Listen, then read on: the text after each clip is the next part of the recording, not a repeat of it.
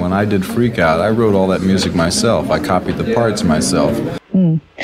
Uh, and uh, how you got signed is a funny story. Well, you mean because the producer thought we were a white blues band? well, accidents will happen. On the day of the first recording session, I think the first tune that we did was um, Anyway the Wind Blows. And then we did Who Are the Brain Police? And immediately this very strange expression came over his face because I could see him through the control room window. And he was on the phone right away to New York. He was a busy executive. There was no way for him to know what was really going to be in the Freak Out album. Yeah, well, I, I think that the one that really is going to come true is Who Are the Brain Police? Well, on the Freak Out album, there's a list of 160 names, both positive and negative influences. I'm, you know, I'm, I'm influenced just as easily by things I hate as by things that I like.